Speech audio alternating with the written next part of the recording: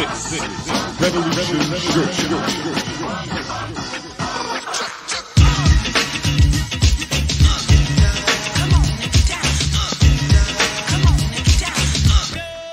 The year is 2020, the number. Another summer, get down. Sound of the funky drummer. Music hitting the hardcore. I know you got soul. The information age got them seeing what's really wrong with these racist days. I honor the strong and pity the weak. Your thoughts run your life, be careful what you think. Haiti beat France in century 17. Salute Toussaint and Dessalines. And I do love France, know what I mean? It's a system I'm talking, nobody's agreeing. They say it's suicide when dead bodies are swinging. Cowards are hunting black men, that's what I'm seeing.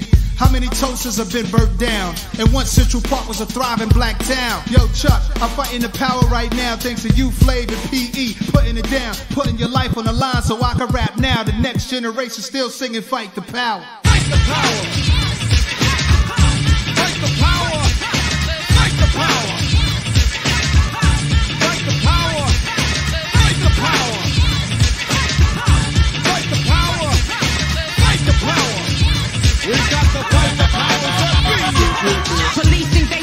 Reign, nine over the law. Wanna give us short sticks, but we really need you long. To the boys in the hood, ducking bullets and batons. From boys in the hood, triple K's on their arm. Four fingers on my palm, screaming fight. Change the policy, defund, buy back our property. You love Black Panther, but not Fred Hampton. Word to the Howards and the Aggies and the Hamptons. They book us, won't book us, I'm booker. T. Washington, George Kilmore, 20. Think about it. That's 2,000 pennies. The value black life, the cost of going to Wendy's for a four quarter burger. Ended in murder. Fight for Breonna and the pain of a mama. Gotta fight. Power.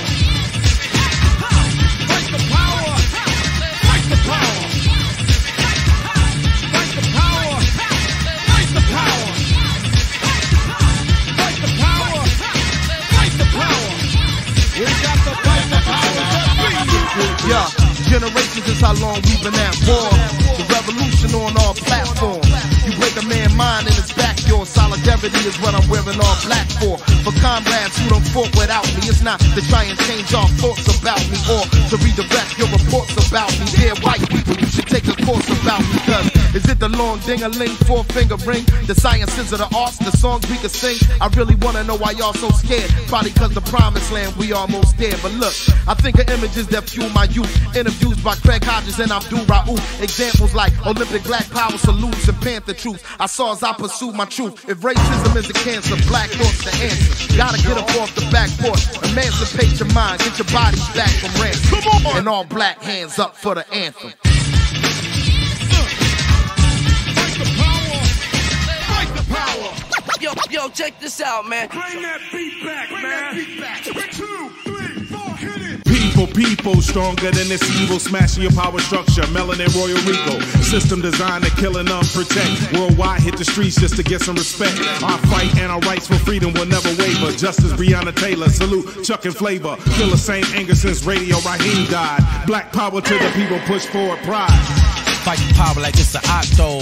Born to fight. I made it off the block though. Thought he had a gun and he was black. That's the combo. The police killed George having a convo. They killed Malcolm X. They killed Dr. King.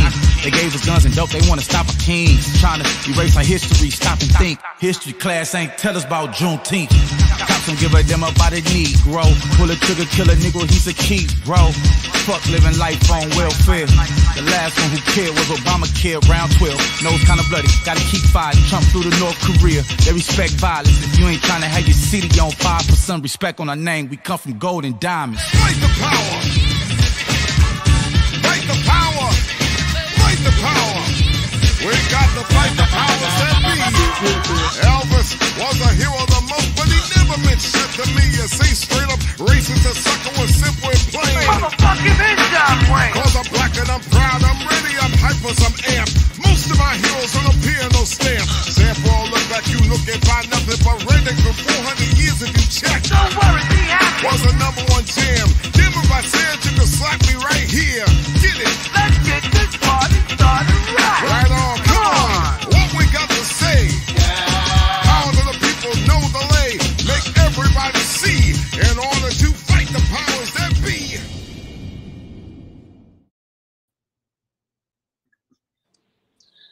Yeah, yeah, yeah, yeah. That's a, that's the way to start off a conversation, man. I'm hyped right now. So you know, welcome everybody. Uh, thank you for joining us today. My name my name is Jumaane Williams. I'm a New York City public advocate. If you're in New York City, you may know. If you're across the country, may not. There's three citywide elected officials in uh, New York City. Uh, it's the mayor, uh, myself, and the comptroller.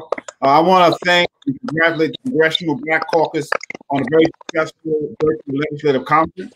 I also want to thank Def Jam Forward and their team that's working to get out the vote and getting people involved. We absolutely need that, uh, obviously. I'm happy to host uh, this conversation about police brutality, conversations around policing. Uh, unfortunately, it's been a part of the Black and Brown experience uh, in this country for way too long. We'll talk about our experiences and our traumas, uh, but we'll also talk about what we can, if anything, do and what we can do to help push for change. We got some amazing panelists Ronald Colter, Chuck D, Jadakiss, Bobby Sessions, Royce White. Uh, but before we get to them, uh, we want to hear uh, from a, a, very special guest, uh, a friend of mine, a fellow Brooklynite, hip hop hip hop music lover like myself. I'm a hip hop head. Hip hop raised me. He was the first person to spit lyrics of Biggie Smalls on the floor of the House. He is a Democratic Caucus chairman, uh, the man who put hip hop in Congress you don't know, now you know. Congress member Hakeem Jeffries. Well, thank you so much, Brother Jumaane, for your friendship, for your leadership, for that very generous introduction. You never thought that hip hop would take it this far. I'm so thankful for all of these panelists, to Def Jam, and uh, to all the people who are joining us for this incredibly important discussion. I've got the honor of representing uh, the 8th Congressional District in Brooklyn and Queens uh, as well as serving as the chair of the House Democratic Caucus, as well as being a member of the Congressional Black Caucus, uh, which is now 53 members strong in the House of Representatives uh, and two United States senators, one who's on her way uh, to being the next vice president of the United States of America.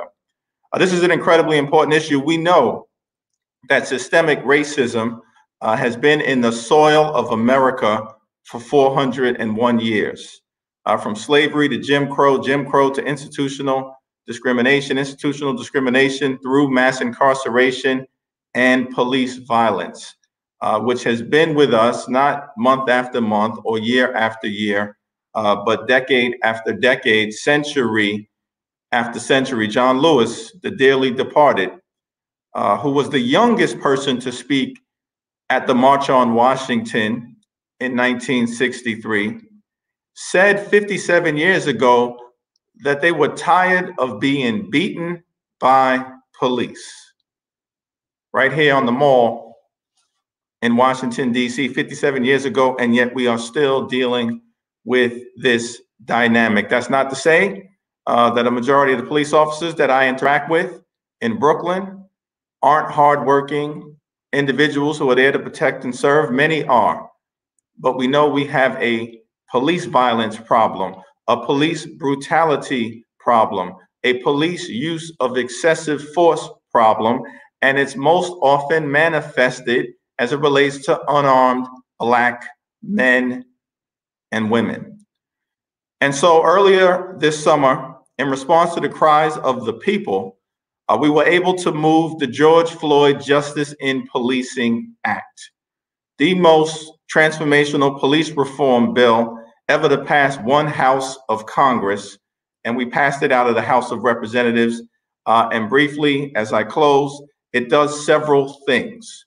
Uh, it would criminalize the chokehold and other types of strangulation tactics, such as a knee to the neck, which resulted in the death of George Floyd, and prior to that, so many others, including Eric Garner in New York City. Uh, it would prohibit the use of no knock warrants in all drug cases because those no knock warrants, as they are executed, are inherently dangerous, as we saw with the murder of Sister Breonna Taylor.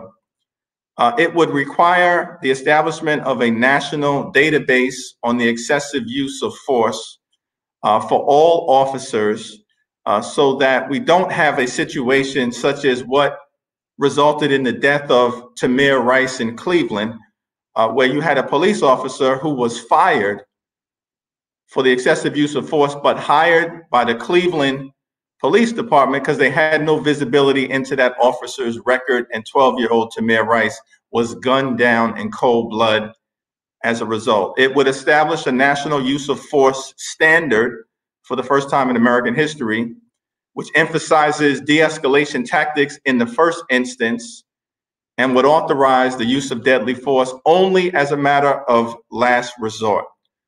Perhaps had a standard like this been in place in this country, then Jacob Blake would not have been shot seven times in his back, paralyzed for life, because there were so many other ways in which he could have been restrained.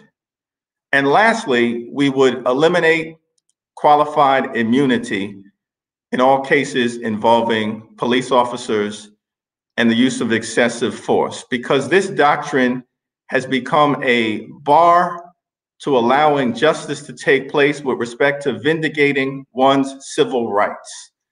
It's not a statutory doctrine, Congress never created it.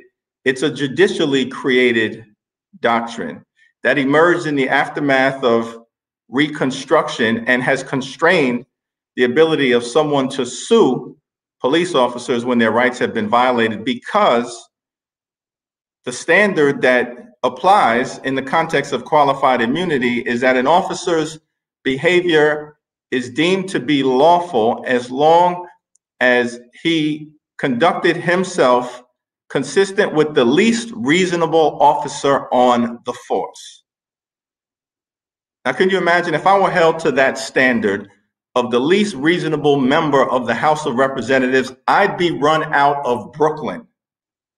And yet, because of qualified immunity, we have a standard in the law where an officer can engage in this type of behavior, notwithstanding the fact they have the right to take your life and your liberty. We shouldn't have a standard that is one of the lowest common denominators. It should be one of the highest applicable standards. That's why the George Floyd Justice and Policing Act will get rid of the doctrine of qualified immunity. And so we've got it out of the House, but we need a triangular alignment of values between the House, the Senate, and the presidency, which we don't have right now, which is why, as part of the solution, I'm just urging everyone to exercise your right to vote. Protest, consistent with the principle of freedom of expression and assembly, and the right to petition your government, but you're more likely to get change as a result of your protesting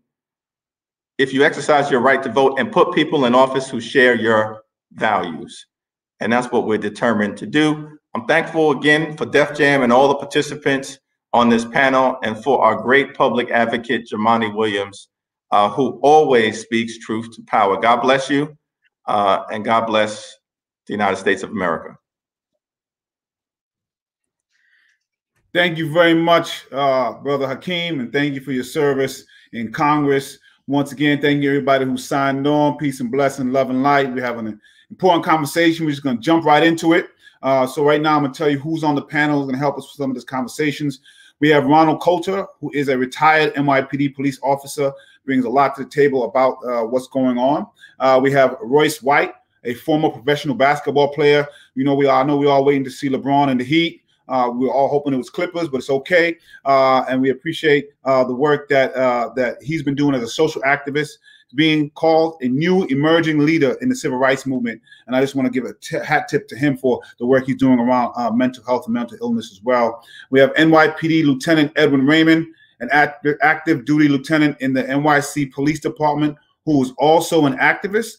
Uh, and our special guests uh, from Def Jam. This is where I have to act like I'm not a hip hop fan. But we got Bobby Sessions, a hip hop artist and activist who wrote the single "The Hate You Gave" from that awesome movie. That I'm sorry, "The Hate You Give" from the awesome movie "The Hate You Give." We have aha, I can never do it right, so I'm not gonna try again. But Jadakiss, hip hop icon out of Yonkers, New York native, and one third of the legendary rap group The LOX, and of course, legendary Chuck D, rock and roll Hall of Famer and Public Enemy MC, who call us all to fight the power. We heard his remix as we came in today. Thank you all so much uh, for joining us today. This important conversation.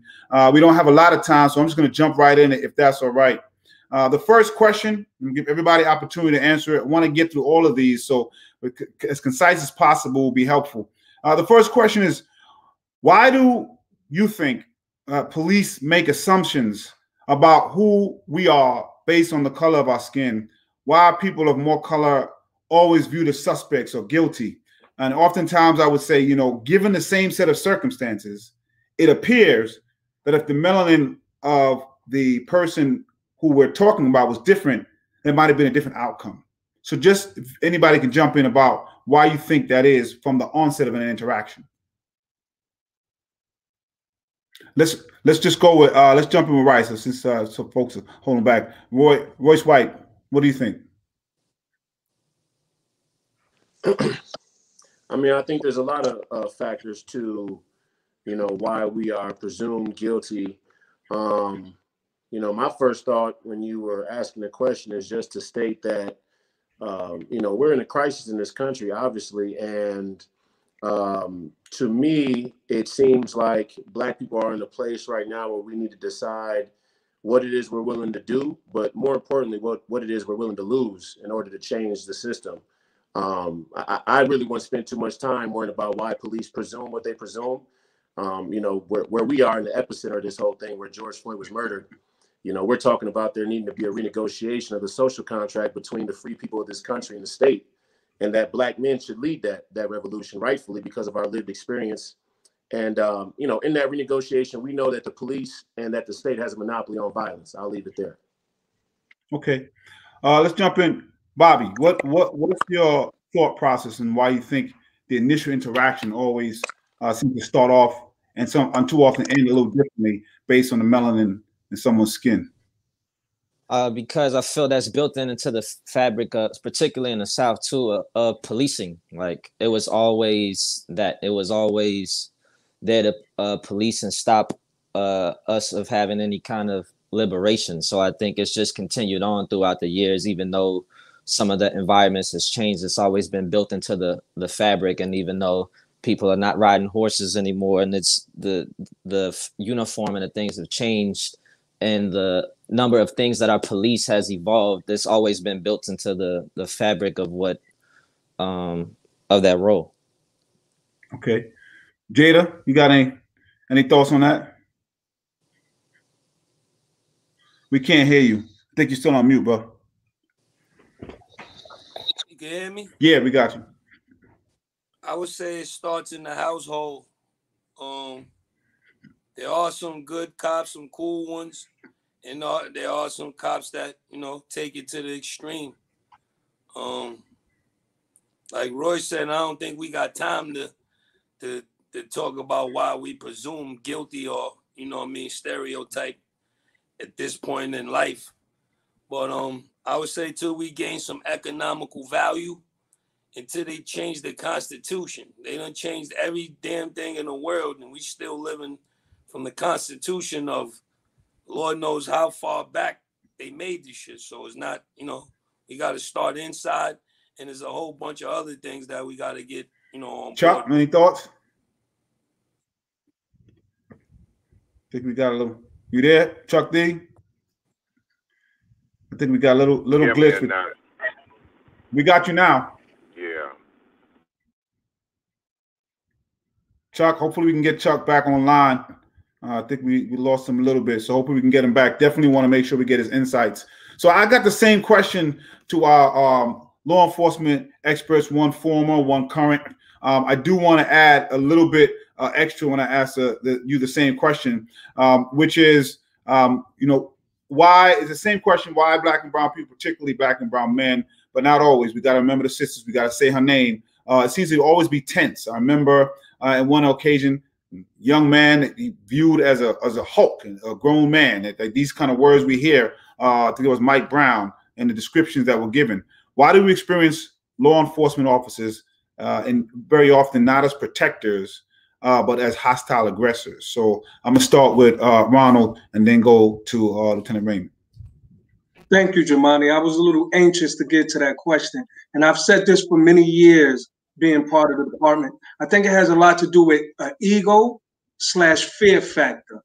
And what I mean by that is, is uh, not all officers, but some has to understand when, when we're addressing black men in our community, we have to leave our egos in the locker room of our commands. Also, not every black man is a criminal. So the fear factor kicks in. They come in hot and heavy on a on a high level because they, they, they don't want to show fear. They don't want to show a, a, little bit of concern of the individual they're, act, they're interacting with. So what I always did, and I still try to do, I still walk up and down the block speaking to fellow police officers and law enforcement officers, is I explain to them that we're all human. We're all, not every black man is committing a crime. And if I have enough time towards the end, I want to tell you a short story of something that happened to me in Boston uh, when Kevin Garnett was still with the Celtics. Okay. Edwin, can, can you hear us? Yeah, so my experience and my observation, it goes back to implicit bias. You know what I mean? This is something that starts long before somebody becomes a police officer. We get it from the fabric of the nation. We get hit all these images of, of black men in the worst in the worst caricatures. You understand? And if you don't have access to actual black people, you walk in thinking that that's all we represent. And now it, get, it gets exacerbated when you become a law enforcement official because now you have the job dealing with crime. So it, it, it just, it, it basically connects to what you already thought that got there by, and it grows into a large issue. Um, it's something that we have to attack before people even make it into the department. We got to attack it in the fabric of our nation. Yeah, I think that's that's interesting, and both you know what you and, and, and Ronald just said, and it's interesting because the data actually shows. Uh, you, first of all, I, have always abhorred violence, and so uh, you know it's not something I, I promote. But um, the, an officer is most likely to be shot and killed by a white male, preferably you know usually someone who is uh, in the white supremacy world. Uh, yet they not treated that way uh, when they interacted with them uh, but black and brown people are. So uh, to what you said and what Ronald said, really um, kind of backs that up. That the data is not something that folks are looking at. It's something else uh, that seems to be an issue. I think we lost uh, Chuck again, uh, which is unfortunate. I really want to get some of his insights in here. Um, but to something uh, you both just said, just really quickly, I think there is an issue around, you know, some officers not knowing the communities that they are working in but sometimes we do have black and brown uh, officers or people who are in charge, and we see some of the similar things going on. Anybody want to jump in as to why that may be? Real, yeah, when I, when, I, you, when you, I, I found I found this, Jumaane, and I had the opportunity to interact with you many many moons ago and and I and I seen it recently uh, uh, in regards to other people on the panel. Sometimes officers of African American and Latino descent feel like they have to move in a line with everything else and with the norm that's been there, and they don't want to. They don't want to be the odd guy to point out negative behavior in our community. So that's one of the things we have to start doing. We have to start promoting more people from our communities to police our communities so we can relate better to what's going on.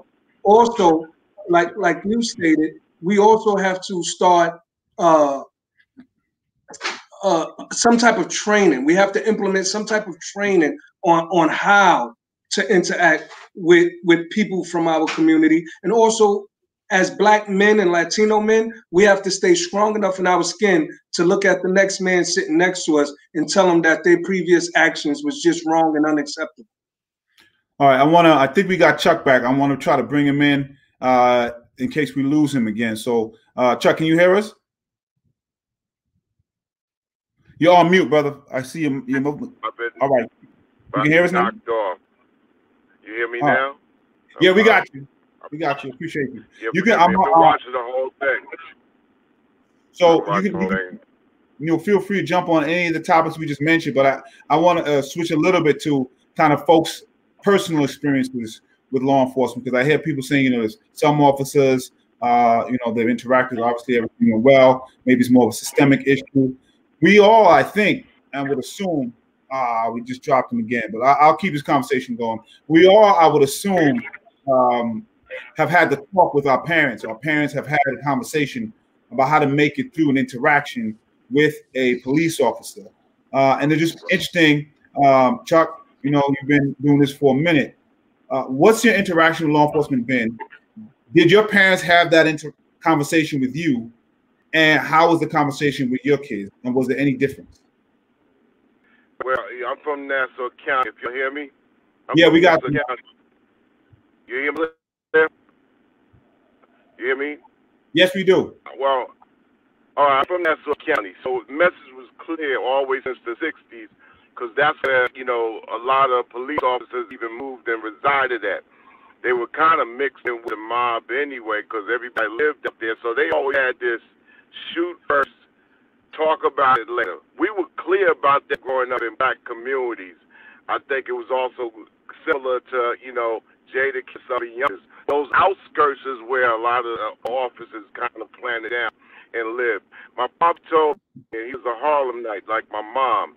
Grew up in Harlem. Said when he was growing up in the 40s and the 50s, at that time, police walked the beat. Meaning what? They knew everybody's family. They knew names. Now they would do the dirty, but give you a warning and all that. Cause they knew that was tied into that community back then. My dad said, man, like after 65, it developed into a system of cops patrolling and tanks living outside. No one knew where they lived. That was a that was a whole different thing. It was it went from dealing with people and dealing with a community which we've never had into handling people. And he was very clear. So you handle animals and machines. You don't handle people. But that's where the policing had gone into that realm and we've been dealing with that for the last 40 or 50 years. So growing up in Nassau County, it was already this planted thing that police were in tanks rolling around, but they wasn't of our community. They just patrolled and worked the community, and that was a problem that no one, no education-wise, had passed down as clear as possible. If you take the OGs and the men away, like it happened in the 80s and the 90s, a lot of those understanding of these tactics, what to look out for, what language to have, how you even position yourself when they step into you. A lot of this stuff got wiped out, and it's exacerbated in every other spot in the United States where black folks live, which kind of like look like Roosevelt Long Island. I mean, New York City and Harlem is a rare spot. The Bronx a rare spot. People on top of each other, different dynamic. But everywhere else in the country is like Roosevelt, Long Island. So it's controlled from the outside looking in. And so that dynamic is, is, an educational process that we used to have automatically that we don't have anymore as a community because we're in a plantation state. And lastly, they are not putting it in their their learning body. They're not walking no beat no more. They driving around in a tank from the outside looking in. This has been a systemic problem that, that seriously has to be addressed every day. It's like no time off. And so uh, uh, the gentlemen on this panel are all talking the right move because they're dealing with what we've been looking at the last five decades from a decade standpoint. If you're 20, you're seeing the same thing. 30 seeing the same thing, 40 seeing the same thing, 50 seeing the same thing. I'm 60. We've been seeing the same thing. That's the problem. Appreciate you. I'm glad we got you to get some wise words in there. Um, Bobby, did, did you ever, did your parents ever have that conversation to talk with you? How old were you? Uh, did it shape your interactions with law enforcement? How have your, your interactions been? Um, I have had discussions with my parents about it. It was just always the the main thing was just find a way to get home. Try to be as uh try to comply as much as possible and do whatever you got to do to get to get home even if you're right about the situation. We just want you home. That was the main conversation that we've had. I've had good and bad interactions with cops. I think the thing that shifted my mentality on it the most was when 2012 my cousin James Harper he was unarmed and he got murdered by law enforcement and then going from witness, witnessing that to going to uh, court and seeing the them demonizing and using his past as a uh, to somehow justify his unwarranted uh, execution, and just it made me realize that from the police officer to the court and everything, I feel it empowers uh, some of the bad apples, so to speak. To they, there's no fear planted that they that anything bad is going to happen to them if they are uh, being the aggressor in a situation or if they're escalating a situation. There's no fear that they're gonna suffer any consequences, and I think that influences a lot of the interactions. So thinking of that and thinking back to my parents, it was always just find find a way to get home. I would just like to see uh more interactions where they're more peaceful and as the police officer you're making the person you're pulling over or stopping or whatever feel more confident to know that uh this won't be their last day on this planet Yeah, and I, I appreciate that. I think that's been the you know case for a lot of folks. Like my prayers have always just been to want everybody to make it home. Um, what was sad about Breonna's case, she was home, she was asleep. So I'm not sure what the new prayer is, but um, you know, Jada, what did you have that conversation? What was that like? What was your interactions with law enforcement? How does it shape how you look at this stuff now? And also, I have a question. You know, I've been I always go back and forth with this because I always have to tell our young men and our young women, you know, you people don't understand what it's like for your your manhood or womanhood to constantly be challenged. But you have to uh, to make it through. Sometimes that has to happen. How do you balance those messages as you're trying to tell people who who listen to you how to get through this interactions? Um, when I was coming up, my mom and dad would, you know, it was a phrase, don't act like a knucklehead or, you know, handle act accordingly or, you know, handle yourself accordingly or somebody else's mother could could actually, you know, reprimand you back then if you got out of line. So it was all about conducting yourself in a proper manner. And now when I speak to my son today, it's not even about like Bobby said, I just want him to make it home. Comply however, whatever you gotta do to make it home. When when you do get pulled over, roll your windows down, put the keys on the hood, put your license outside the window, your hands, you know what I mean? Let them be visualized and it's just more scary because it hits home now, especially with social media. You're able to see extra videos and extra footage. They can't just tell you anything, or it can't just be smoke and mirrors, or you don't just get whatever the news is giving the world. You're able to actually see some of the injustice firsthand. So it's actually more scary and more spooky. Um, I just you know same same things apply. I tell my son comply, but for the most part, we got to do a lot of praying as black and brown people when our kids leave the house that they make it back, that we make it back. You know what I mean? Yeah, Royce, uh, bring you in. Just a similar question. Your parents have that conversation. I'm not sure, uh, you know, if, if you have children. If you do, uh, have you had that conversation with them? How did that go? I think you're on mute, bro. Still on mute, brother. Royce, How about how about we now? got you now. Okay. Um, I guess I came up in a family that was a little bit more revolutionary in spirit, and they always taught me that the, the police were just pawns in a much bigger game. Um, and, you know, pawns of corporate America, pawns of the banking system of this country, um, pawns of the modern world, the Western world. So, you know, for me, um, I viewed them that way. I view the police that way. It's why the George Floyd murder didn't surprise me. And the only response in my mind and the only response for us as black folks is to get to the front lines. I don't, I don't really see there being much, I don't see there being much efficient um, forewarning that you could give uh, a young black woman about who she's sleeping with, who she's dating, and the, the possibility that cops could bust through the door and kill her in the middle of the night.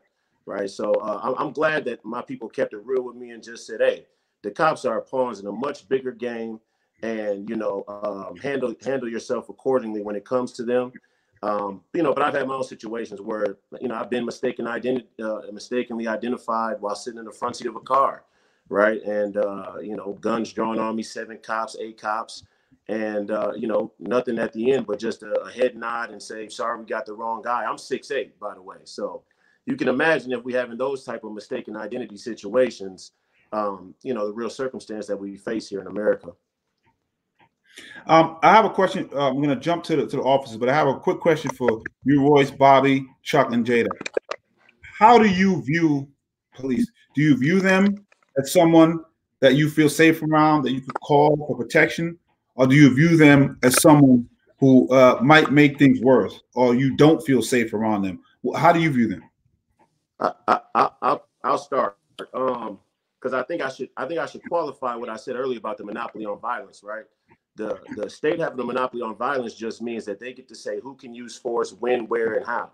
So with that in mind, the interaction between the police and civilians, and even more so, the interaction between the judicial system and the cops as an extension of that, and the community is always going to tilt towards injustice as long as they have a monopoly on violence. I really like the idea of us being able to challenge police officers to a fistfight. I like that law being implemented. No, I mean it, it sounds funny, but the reality is, is like, in what in what place in America are we seeing that the community? And I'm not just talking about black people. It just so happens that the historical context of black people puts us in a position where we're the target of a, a white system. But in general, people face a tyranny from the state and from police, and it, it tilts towards injustice. So you know, we have to really start to think about again, what are we willing to do? What are we willing to lose? Uh, Bobby, Chuck, Jada, what any any thoughts on that? How do you view police? Safety or not safe? I'll let the OGs start. Chuck, Chuck, you on mute. Chuck, you on mute. How about that? Hear me? Yeah, we got you. We got you. Yeah. All right. Um, it's a good point by Royce. I think the point is, and, and I'm not, I'm taking myself out of it. Whenever somebody of any system, be it a police system, be it the judge, judicial system, like you were talking about, if they never ever see you as family or son, or as your son or as son-in-law or whatever, that schism needs so much education and so much work to fix. It will never get better. Number one, police to protect and serve property owners. We never owned much of the country that we live in here. So therefore, own, uh, you know, being looked at as not humans has always been a problem. So if you already know how that's coming at you, you got to kind of like brace yourself. I can't, at 60, I'm still looking for the rearview mirror. The point is saying is that if somebody doesn't feel like they're going to ever be family, they always going to look at you as being an adversary. So I've been 116 countries. Police mean a lot of different things in the world. You know, you go to some countries where everybody black, black, black, right? They still need policing of the community, but the difference is they are policing a community that they're part of. They know when they go in the community, they know that hey, you know, this person could be my son, it could be my daughter. It's a whole different dynamic. It's a different dynamic everywhere, in the world, and there are problems, but those problems get worked out. In the United States of America, it has never got off on the right foot because we've never been looked at as family. So forget just the policing. Once you go from the policing into the justice and you looked upon as not being family, that once again further opens up a can of worms that we ain't never been able to swim out of. So how I look at police is how they look at us as not officially being human family with them. That has to change. We're working on it. Culture has brought a lot of us kind of together. But governments like to split and divide people up, categorize them for other different means at humans' expense, at our expense. So we got to be able to like eradicate those benefits that they think they're getting, and also eradicate this happening at our expense. And and it's a lot of education. These parents probably have to happen every day because they are not happening where areas like where it's an automatic thing. The education is something that we need, but they need twice as much education to understand that they with us and they not above us. And always meaning the ubiquitous thing. When they in those positions, they always to think that they're above us and be nervous at it too. That's a problem, man. Thank you, Jada. Jada, you on mute. Chuck pretty much said I feel. Royce pretty much said I feel. Um, at this point in life, is I hate to get the police involved in anything. I'd rather handle it myself, resolve it before any police gets there. Because when they get there, you already looked at as wrong. It's already they already got their views on it before they even hear what happened or what went which kind of way. They pretty much they pretty much judge the situation by who they're dealing with when they get to the scene. You know what I mean? So Yeah. with me, I try to handle things without the least police involvement as as possible because they ain't coming to they ain't coming to protect and serve. All right. 'Cause I give you a story being from Yonkers. When you get arrested and you go to the county to the county jail, which is Valhalla, if you don't look, if you're not lumped up like you just had a fight with Tyson or somebody like that, they don't even believe that you came from Yonkers. That's how bad the police do you before they bring you to the county. They think you're lying if you come in looking regular and you and you from Yonkers. That's how that's how crazy it is. Everybody who goes there gets obliterated. You know what I mean? Wow. So it, we, we try to stay far away from them up here. Uh, Bobby, I want so uh, if you can tell us your your your thoughts in like 20, 30 seconds. We got about five, six minutes left. I want to try to get two more questions in. So if you could just real quick. Yeah, so quickly, uh, no, I don't feel protected. Or, or there's only one scenario where I do feel protected, and that's when I'm performing, because I feel like the service that's being rendered, I'm kind of you're, you're viewed as an asset in that capacity. That's typically going to make people that don't look like me money. So I feel protected in that particular scenario for whatever event or something that I'm doing. But as soon as I leave, I know that that protection goes away from me. So I try to actually actively protect myself from police officers and try to stay out of their way. Um, all right, and real quick, you know, Raymond and um, Ronald, just real quick. I want folks to get a sense of what it feels like to be in your shoes. And obviously, everyone I've seen you on the streets, and uh, people forget sometimes that people are black and brown after they take the, the suits off. So whether you know it's being thrown up against the wall, someone losing their life, Breonna Taylor, George Floyd, Tamir Rice, the list goes way too long. There was a response you see in the public on the streets.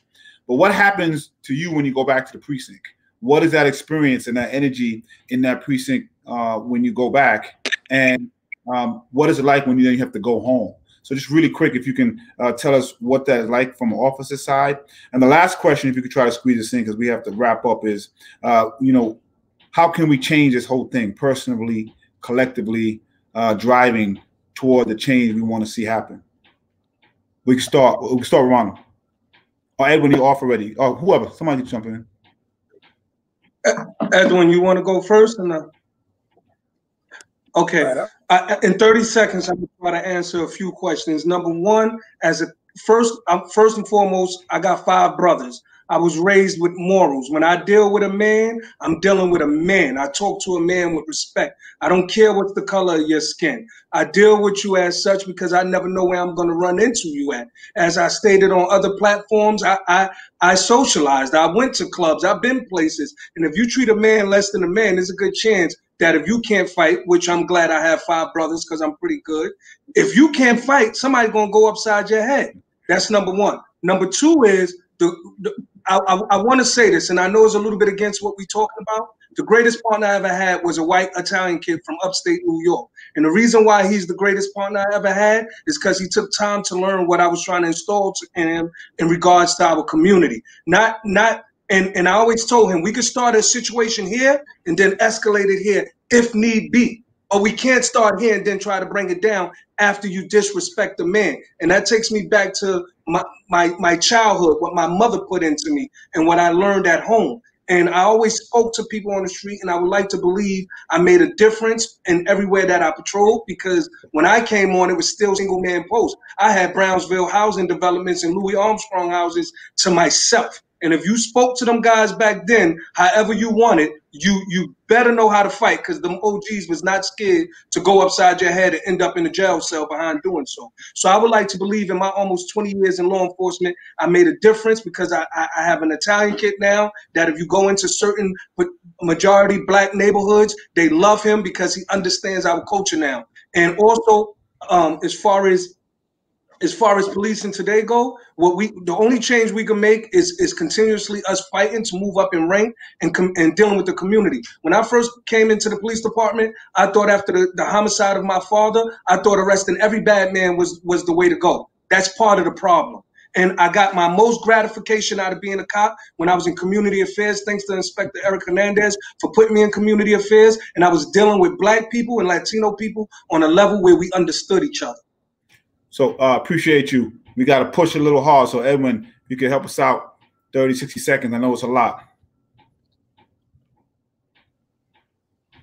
So anytime something goes down, you know what I mean, that's controversial, that causes uproar. Um, today I'm an activist, but before I was an activist, before I spoke out publicly, I would speak out in the precinct, and immediately you get ostracized.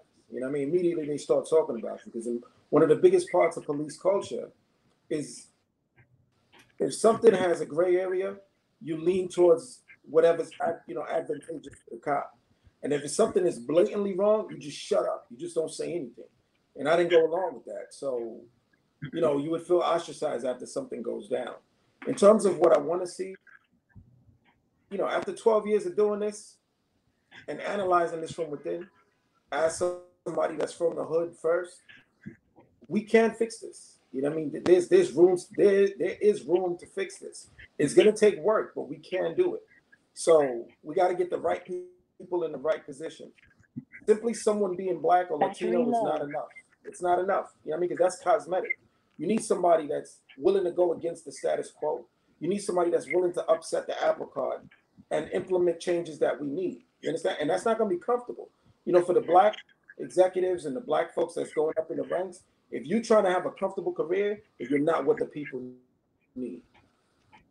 I, I appreciate you very much. I think we're um, a little over time, so I want to make sure we keep us on time. So I just want to thank um, everybody, uh, you know, for taking the time out to have this conversation. I want to thank uh, Def Jam Forward, the Congressional Black Caucus, for everything that you heard. I think we, we do hear that there, there is hope, but first we have to acknowledge uh, what's wrong, why it's wrong before we can even fix it. I'll invite everybody to go, you know, to advocate.nyc.gov. We just put out a 10 point plan of how we can reimagine public safety. I think too often we equate uh, public safety with policing, and we have to stop doing that. So we need everyone on board. If we want to change the system, we got to make a plan to vote on November 3rd, election day. We have to make sure the numbers uh, are there. I'm not sure how political this is, but everybody know we got a problem. Uh, so we need to do what we got to do uh, to challenge that fill out your census. We have to October 31st. Please stay engaged. Use whatever talent you have, whatever drives you to make change. Do what you can with what you have, where you are. Uh, and um, oh, hold on. Oh, we just got some extra time, so I'm gonna keep I'm gonna keep going. Appreciate that. It's got a little tech. All right, so I'm gonna go into that. Um, um, that what can we do uh, to, to to push us in the direction we want? Thank you, Def Jam, for for the little extra minutes we got. And um, Chuck, I actually wanted to go to you, man, to see what ideas you had on how we can move forward and the change we want to see? Well, number one, um, it takes things like this to be the norm instead of the exception. And education got to go to everybody, to the people that think they high, too high, or the people that feel that you know the, every, the same education got to go across the board. Um, reform, you know, get a definition of what reform means.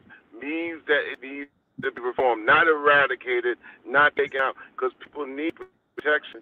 But at the same time, if people feel like they, they have ownership where they live, they have they, they have uh, what's called a community.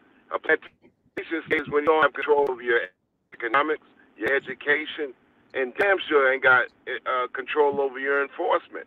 So all those rules are outside looking in and out the window. That has to change. That's reform right there. So all this talk of us in the community, what community do you have if you don't kind of control where you are? You know, we are renting people and on the move. 200 years That's going to be the same. So when we have some ownership in ourselves and where we're at, and then we are able to be able to say, no, this, is what the policy should be when this person goes out of whack.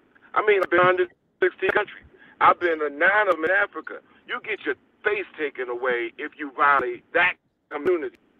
And then they they got beef about sometimes some what the way they interact too. But it, this beef, this beef is on the line of outside looking in, overseer, you know, plantation, slavery extension. That has to be reformed.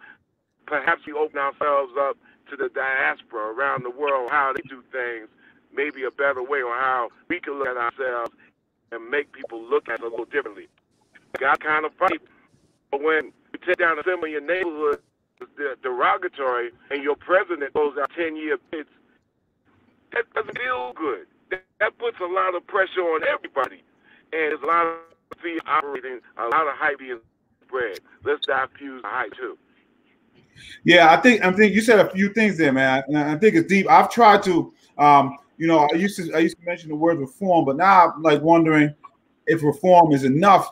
I think we need to replace the system because you know, like in Minnesota, they had so many of the reforms that we want, and George Floyd was still killed. I, I feel like, you know, I think just like you mentioned, understanding understanding where the thing came from, uh, how it came from, uh, you know, enforcement and getting back slaves from the south, uh, from the north. It came from uh, England, but they were just trying to suppress uh, people who were fighting against the work conditions that they had. And so those things are in the DNA. And I think I'm always like, you know, anybody who says law enforcement has no part to play, I'm not sure, you know, that's helpful. Anybody who says that that's the major part is also wrong. I think we could use the police. Can I say a quick thing? And I think this is Yeah. tested by, by the brother officers on this. Yeah. Counties are egos. And, and when you have counties, and especially, I'm not even talking about New York metropolitan area, which is five boroughs, which are counties surrounded. But it seemed like every county is its own fiefdom plantation. So you had this this underlying talk like, well, that happens over there in that county. Then we don't do it this way in this county. And that, you know, there's no standard on policing or looking at people as equal or people of color. You know, the ego running through county uh, authority is is is such a is such a mess, man. That overhauling that is is mess. You know, the counties and the United States is all this way and that way. So how do you develop a standard? Where's the standard going to come from? Is it going to be a hmm. national standard? And then you counties say, well, we got to vote on that because we don't know. Our it's not the same. We got to kind of like, yeah, we know what the towns are at, and if they don't vote up, we're gonna keep it the same way. That's the problem. Jada, um, you know, a lot of times what people will bring up is is the violence. And so, you know, black community they sandwich between the street violence and the police violence. And sometimes if you bring up the police violence, they'll give you under policing. Uh, but there's sandwich between these two things, which I think all come from the same kind of reasoning. But how do you respond to that? How do we make change while addressing the concerns of these communities that should be able to demand safer streets and better policing at the exact same time like everybody else does? a lot of times you it's about keeping a clean knit, keeping your slate clean, because one of the tools that they these these the justice systems are using in all of the demographics, as we see in the Breonna Taylor case, they overlooked everything and went to her, her boyfriend or her fiance's rap sheet or his past history, criminal record, which had nothing to do with the police coming in their house and shooting his girl, shooting his wife, or you know what I mean. So, a lot of times they use your past record, and if it's violence, it's like it gives them a, a not getting indicted free pass, no matter how extreme the case seems to be.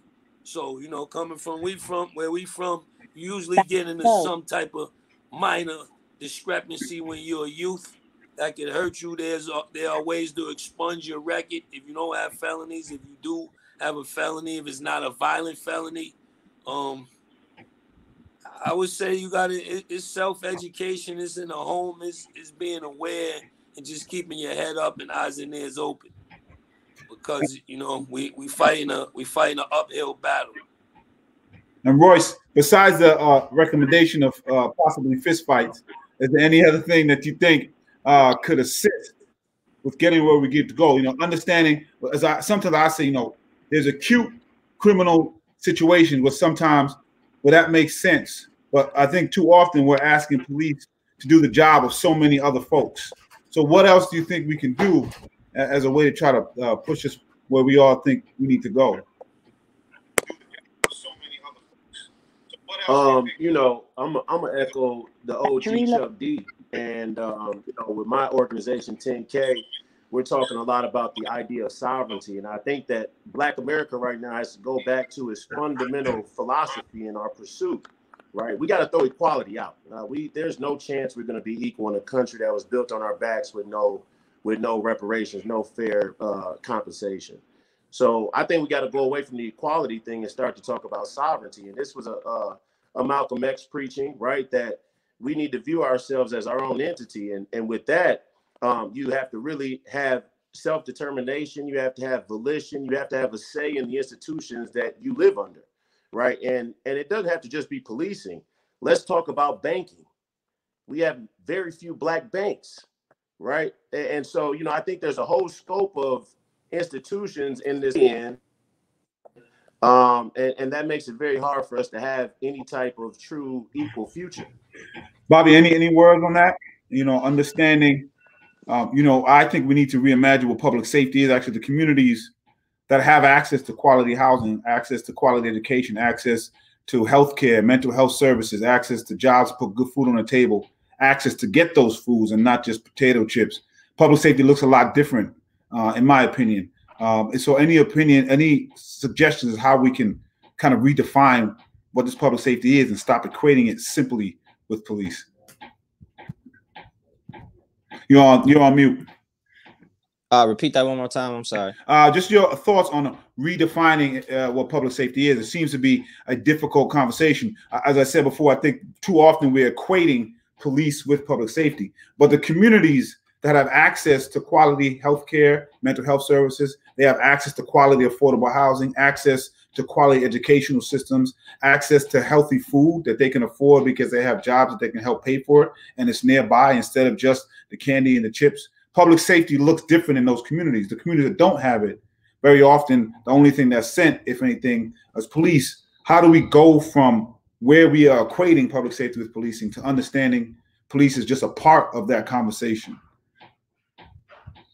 Right. Um, I think, and and obviously, I don't have all the answers to that question, but I feel like one of the ways would be for us to really look assess the fun, uh, the funding in a lot of these cities. It's like a lot of some of this funding can be implemented into making sure that a lot of these neighborhoods have the resources that they need in order to get things done, and it would reduce a lot of issues. Like uh, when I hear things like you know the black on black crime in this community like that's a made up that's a fake thing. It's a proximity thing. You put people in cages and they have no resources. They have no way to eat. They have no way to provide for themselves.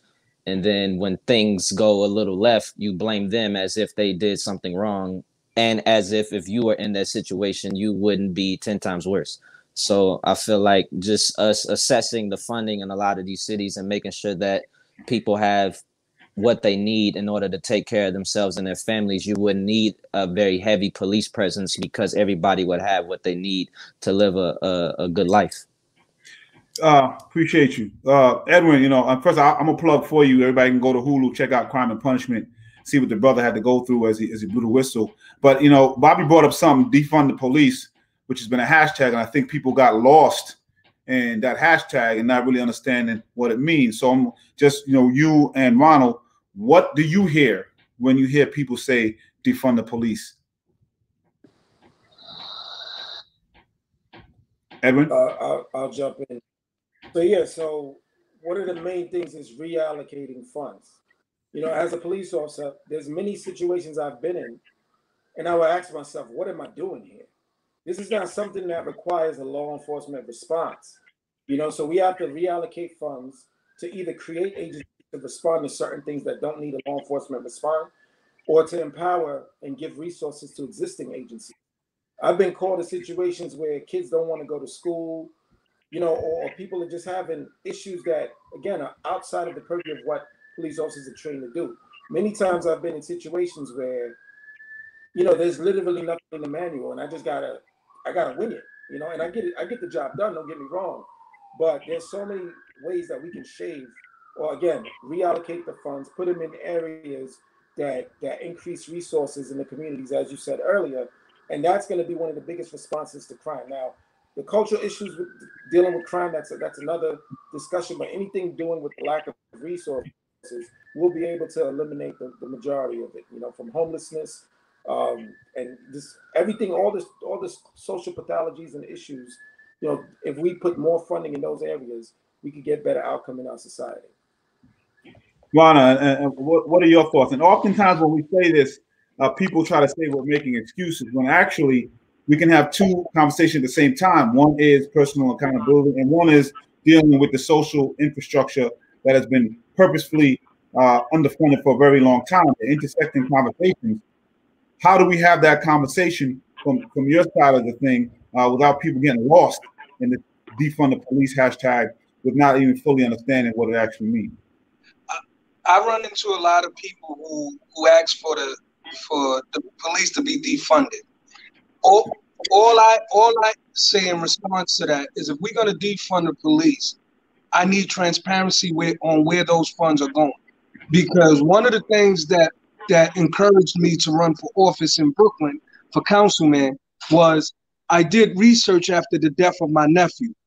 There's no reason in the world in Bedford Stuyvesant, Brooklyn, a school system is getting $16,000 for a student, but you go over into Dumbo and they're getting $39,000 per student.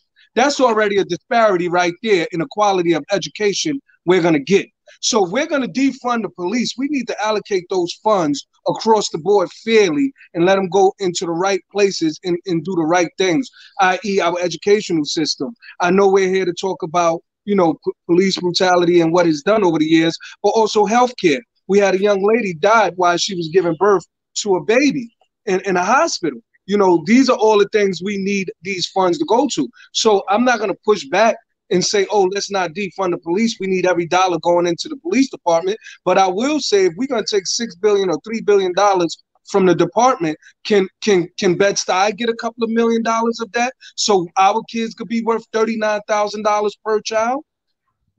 I appreciate that, man. This is a, is a good note to. I mean, this can go on and on. This is a good note. They give us an extra uh, 15 minutes. I'm, I'm gonna end with Chuck, but I want you to close us out and give us some wise words. Um, but you know, you said, uh, Ronald, some some important things, and you know, I always say I'm glad that there's energy around the police department because we ask them to do too much and we see the response. But uh, as you mentioned, the other agencies in all these cities are doing harm to the same communities.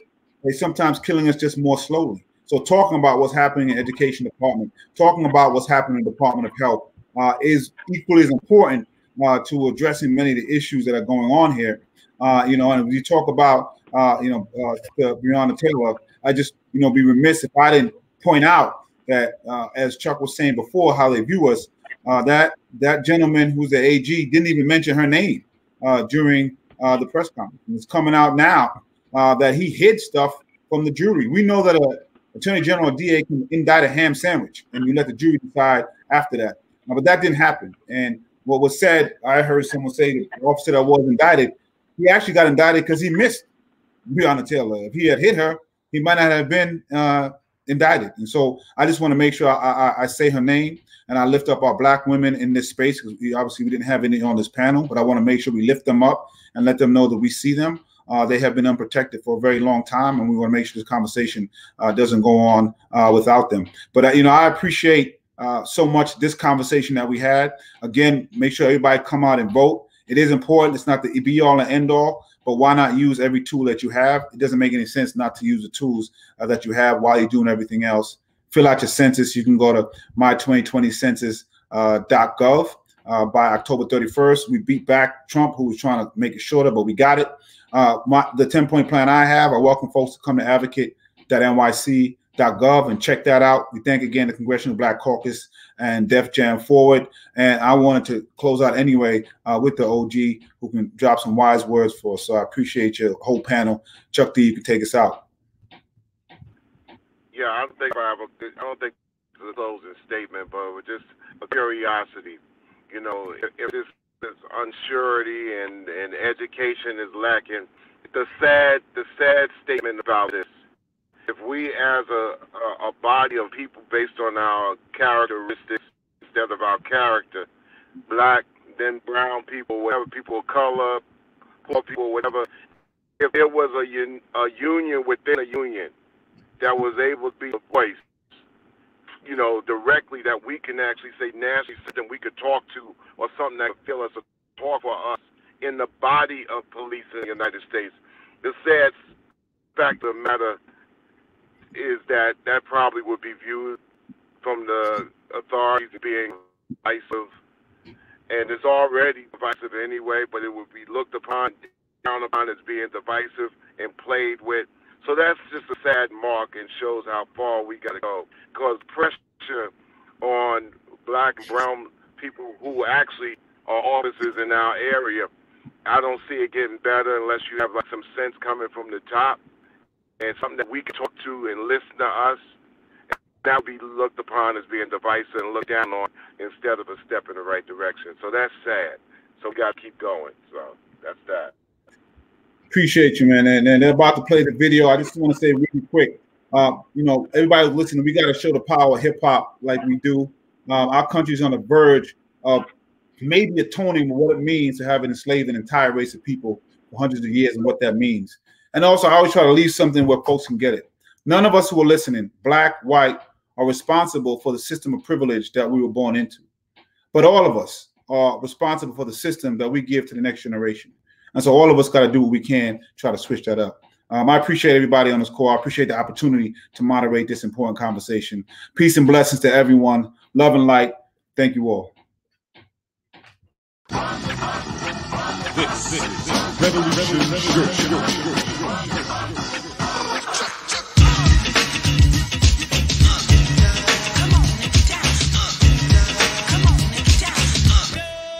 The year is 2020, the number. Another summer, get down. Sound of the funky drummer. Music hitting the heart, cause I know you got soul. The information age got them seeing what's really wrong with these racist days. I honor the strong and pity the weak. Your thoughts run your life, be careful what you think. Haiti beat France in century 17. Salute Toussaint and Dessalines. And I do love France, know what I mean? It's a system I'm talking, nobody's agreeing. They say it's suicide when dead bodies are swinging. Cowards are hunting black men, that's what I'm seeing.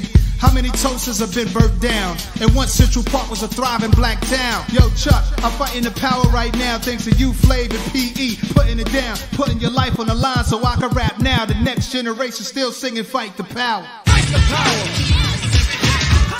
Fight the power!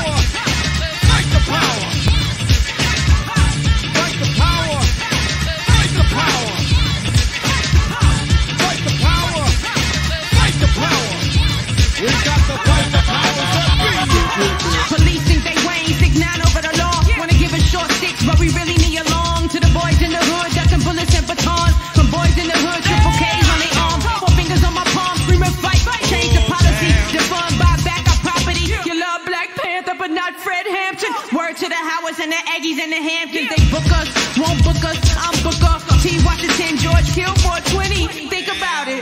That's 2,000 pennies. The value black life, the cost of going to Wendy's for a four quarter burger. Ended in murder. Fight for Breonna and the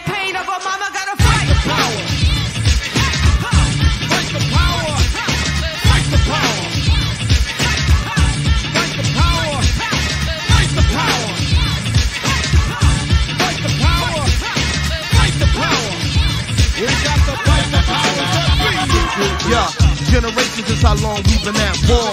The revolution on all platforms. You break a man's mind and it's back your solidarity is what I'm wearing all black for. For comrades who don't fought without me, it's not to try and change our thoughts about me or to redirect your reports about me. Dear white people, you should take a course about me. Cause Is it the long ding-a-ling, four finger ring? The sciences of the arts, the songs we can sing? I really wanna know why y'all so scared. Probably cause the promised land we almost there. But look, I think of images that fuel my youth. Interviews by Craig Hodges and Abdul-Rauf. Examples like Olympic black power salutes and Panther truth. I saw as I pursued my truth. If racism is a cancer, black thoughts the answer. Gotta get up off the back porch. Emancipate your mind, get your bodies back from ransom. Come on! And all black hands up for the anthem.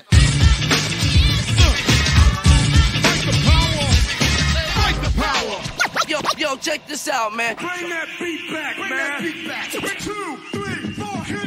People, people, stronger than this evil, smashing your power structure. Melanin Royal Rico, system designed to kill and unprotect. Worldwide, hit the streets just to get some respect. Our fight and our rights for freedom will never waver. Justice Breonna Taylor, salute Chuck and Flavor. Feel the same anger since Radio Raheem died. Black power to the people, push forward pride. Fight the power like it's an octo. Born to fight. I made it off the block though. Thought he had a gun and he was black. That's the combo. The police killed George having the convo. They killed Malcolm X. They killed Dr. King. They gave us guns and dope. They want to stop a king. Trying to erase our history. Stop and think. History class ain't tell us about Juneteenth. Cops don't give a damn about a Negro.